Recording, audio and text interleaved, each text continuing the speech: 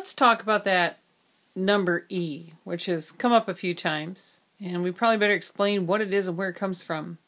It's one of those very interesting mathematical numbers like pi. Pi is used when we talk about circles. It's the ratio of the uh, diameter to the circumference of a circle. But E shows up in things that are continu- that continuously increase or decrease. Here's what E is. The expression that generates E, it looks an awful lot like an interest formula where you have 1 plus 1 over something. It would be R over N in the interest formula. Well, as x gets very large, closer and closer to infinity, and that x and that x both get closer and closer to infinity, then this expression begins to approach that number e. E is approximately equal to 2.718281828. Looks like there might be a repeating part here, but that's just kind of fluky right there. The decimals after that don't repeat. Uh, e is an irrational number.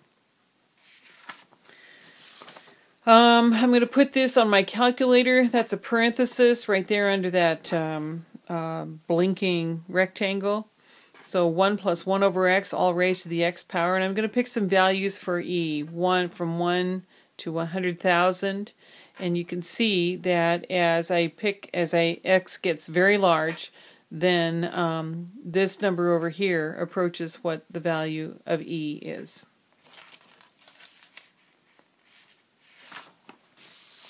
Well, who uses e? Um, we see it in the study of populations. It tends to show up in things that continuously increase. The study of populations, growth of bacteria, because the growth of bacteria is a is a type of population. Uh, we see it in the spread of disease. Con, uh, disease continues to disperse and spread, and so it spreads according to some power of E. Um, we also see it in continuously compounded interest. Um, in continuously compounded interest, that means your money is growing all the time. Um, and so if you invest $100 at uh, continuously compounded interest rate, then if you walk in a year later in the morning, you will get a little less money than if you walk in a year later in the afternoon to take your money out. Um, here's how we get the number E, or this this formula for continuously compounded investing. Let's let this r over n equal 1 over k. Well, if that's true, and if we um, multiply, do means extremes, then n times 1, which is just n, should be the same as r over k. Now, why I'm doing this will become a little more obvious in just a moment. So let's start with our compound interest formula. It should be familiar. And we decided that if n is equal to r over k, then I could write, instead of n here, I could write r, r over k. And instead of n here, I could write r over k. So this is what this formula is right down here. And what I'm doing here is spreading out the um, exponents a little bit.